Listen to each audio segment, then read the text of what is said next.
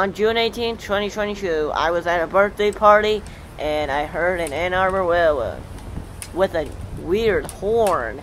And I said, oh, gotta go. And this Ann Arbor was quick than I thought.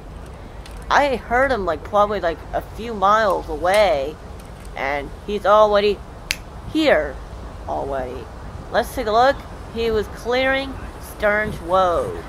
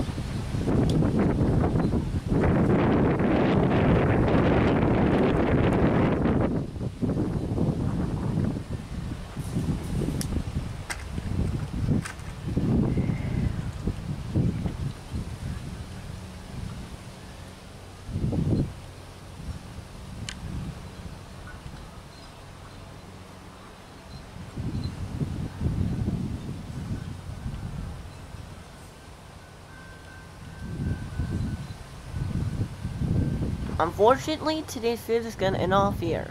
Thanks for watching, everyone. I hope you guys enjoy me catching Ann Arbor Railroad. Thanks for watching. Have a great rest of the day. This is gonna be me signing off.